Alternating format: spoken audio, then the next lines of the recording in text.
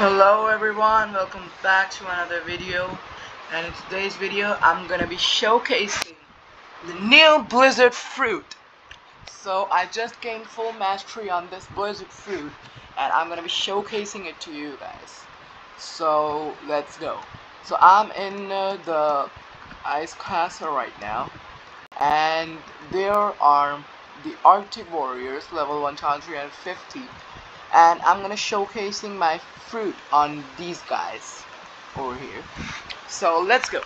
First attack we got is this snowflake shuriken which is one mastery which looks like this and yep yes it forms like some of uh, the ninja stars made by the ice or blizzard fruit. And ah it has a damage of 1492 and to just make you guys aware I have only 901 stats on Blox Fruits so that's why maybe my stats are not good enough. Now here we go. Now next attack we got is this white out 3 2 1 boo so it just forms a tornado and flees the enemy away. And it costs 90 mastery and it gives good damage. How much damage does it give? 1518 damage as you guys can see. Uh, wait bro, let me kill him. He's being a trouble for me. Yeah, okay, right. So now, next attack we got is this Howling Wind, which costs 160 mastery. Let's see what attack does it got. 3, 2, 1, and go. Yo, it's cool. So it points uh, some clouds over here at the top and it just forms a ice wind, uh, ice beam and it just tells the enemy away. Like, bro, let's see it again. Ooh, it's cool to even look. It gives 1138 damage, better. Now, next attack we got is the Blizzard Domain, which is personally my favorite attack. So, Blizzard Domain, this is cost 250 mastery. So, it looks like this, and boom! So, yeah, you guys heard me right. It stays for very long and it can hit people. So, there were two people, so I hit him 6,974 damage kind of great one, bro. And this, when uh, you have to create some combos, the best you can create is the Blizzard Fruit C move and then the Blizzard Fruit V move. This is a goated combo in the looks also and in the damage also. If you don't believe me, let me show it to you. Uh, is is his point? Nah, he isn't. Alright, no worries. So, let me show you. So, first you have to use this Blizzard Domain.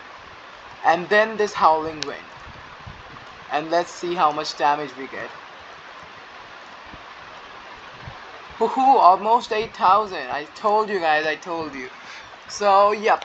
This Blizzard Fruit is overall good for combos and grinding. If for grinding, it's one of the best. And yep, I also killed a whole sea beast alone using only this blizzard fruits combo. Can you even believe it? So, if you want a good fruit for grinding and PvP both, I would recommend Blizzard and I would rate it 9.9 .9 out of 10. Almost 10 and one rating deducted. now the last attack we got is this tornado flight. I I forgot to show it to you guys.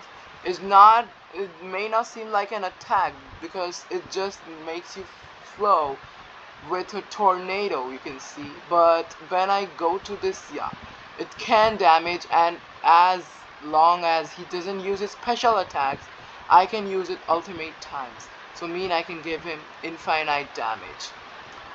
But it will surely break once he uses his, you know, special ability.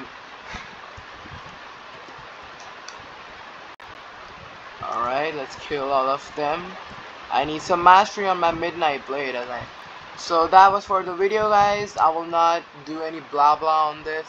I hope you like the video. If you like please like the video subscribe so I can get motivation to make videos like this. And if you're enjoying my showcase videos write yes in the comments and I will make more showcase videos in the future. Because guys we got some surprise for you. I'll be showcasing these fruits rumble and portal I have. Let me unstore and show it to you guys. I just got it by rolling today. There we have the portal fruit. Uh, it looks so cool let's store it uh, store it.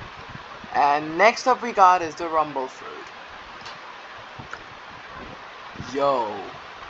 So I um, will be showcase I will be eating them in the future and then be showcasing them. So if you want that video like this video let's do the like aim off uh, 15 likes.